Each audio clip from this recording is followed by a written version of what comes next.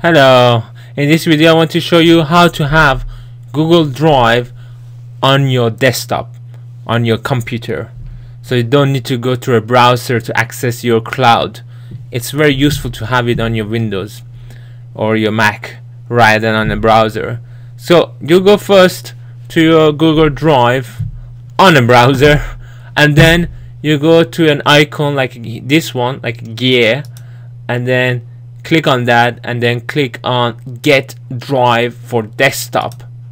Based on your use select the right one which is personal here and I click on download. Read that. If you're happy then click the agree and download. Click save. Then go to the download folder and double click on the setup file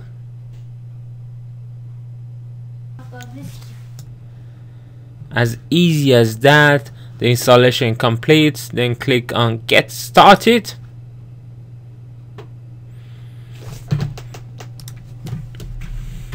Obviously you need to sign in put your email and enter. Put your password.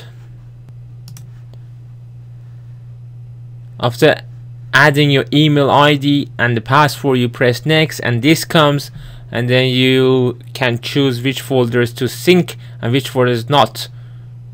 Click got it? So I don't want to really sync anything from my personal computer or my computer. I just want things to sync into my computer rather than the other way around. Again you can check this if you want to upload your photos and videos to Google Photos.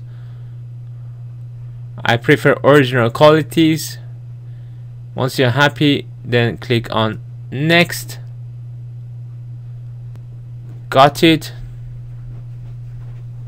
Here you can choose a location where you want your Google Drive to be located at on your computer. It's by default uh, is on the users and stuffs. You can change it if you want to but I leave it the way it is you also have here two choices whether you want to sync everything on your drive or you want to choose the folder. So if you select here you can select the folders from your Google Drive that you want to sync to this computer. But I want everything to be synced because I got enough space on my uh, drive on my computer so I can sync. I don't mind that. So then you can click on start. Installation complete. Close that then this folder would open and it's created the Google Drive and things will start you can see things start appearing and they will start to become just like your browser. So you can access all your files from here.